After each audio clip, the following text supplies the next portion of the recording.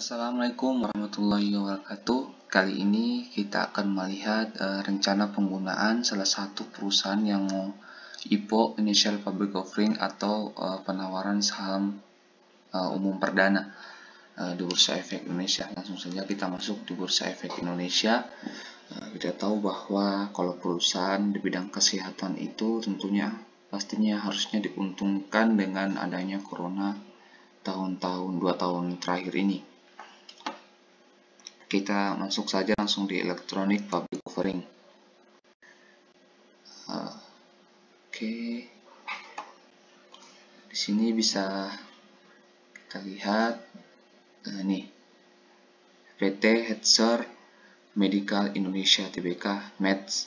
Sektornya kesehatan prode book buildingnya 21 Juli sampai 26 Juli. Rentang harga book building 125 sampai dengan 175 kita klik saja roll prestus di sini kita bisa lihat uh, rencana penggunaan dari hasil uh, IPO-nya dia kalau teman-teman. Oke. okay.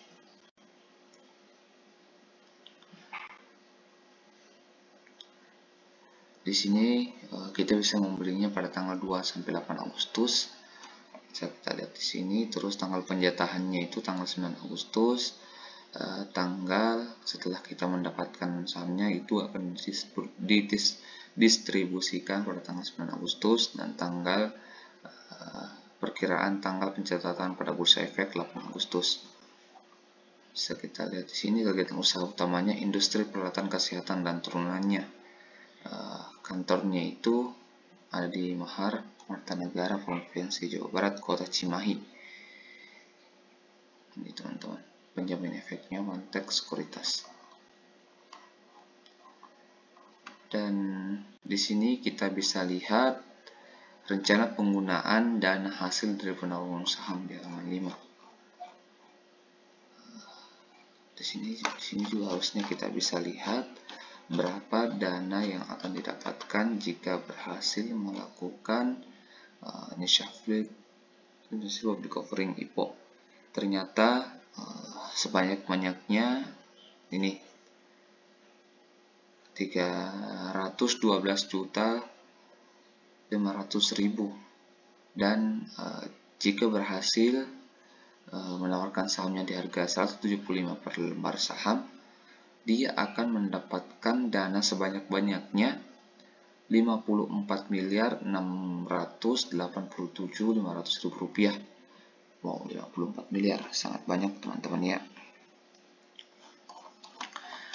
Halaman 5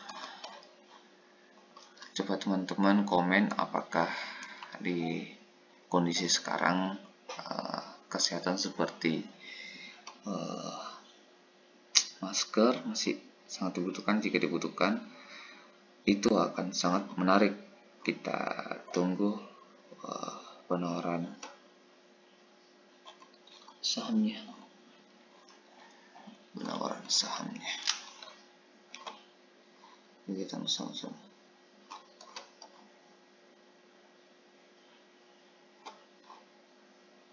kita bisa lihat dulu di sini struktur pemegang sahamnya sebelum IPO.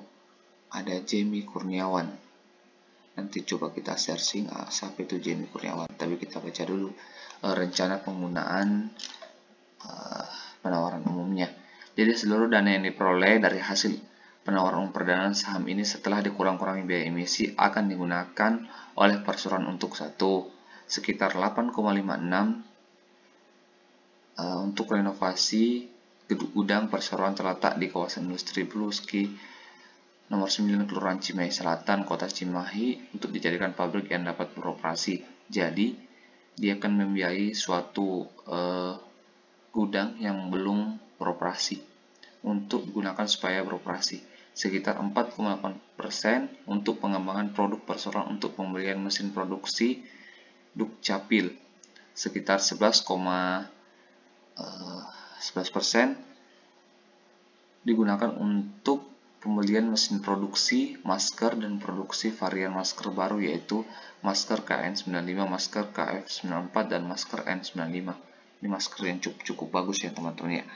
Sekitar 2,82 untuk pembelian peralatan penunjang produksi dan kom kompresor dryer, mesin welding dan mesin listrik stock sekitar 73 sampai 7 7% sebagai modal kerja perseroan pembelian bahan-bahan produksi, masker, dukcapil, masker, kain dan masker kurang lanjut mengenai produksi. Jadi teman-teman kesimpulan dari uh, rencana penggunaan dari hasil penawaran umum ini kebanyakan uh, dialihkan ke uh, rencana modal kerja seperti pembelian masker.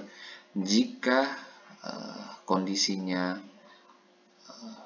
seperti ini, maka menurut saya kurang Eh, menarik ya karena masker sekarang sudah lumayan uh, banyak yang uh, tidak diwajibkan. Sebentar, apakah saya salah?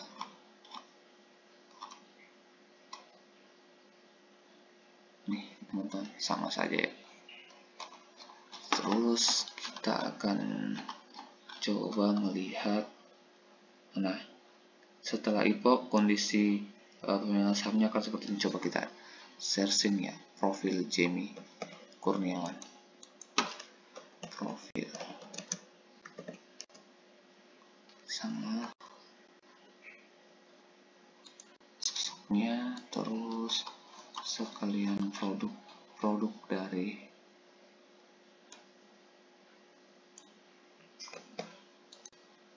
ini sosoknya.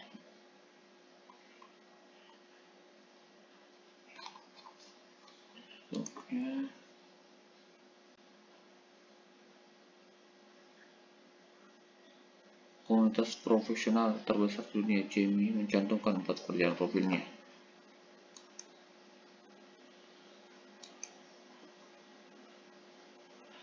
Nah, sambil kita itu, kita coba searching produk produk.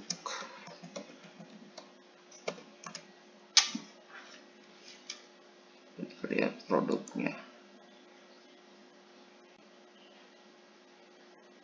Nih ternyata pada saat uh, kemarin uh, pertandingan itu memakai produknya juga ini teman-teman. Merah putih ini produknya. Dia pernah juga sama ketua MPR wow cukup menarik ya teman-teman produk-produknya ini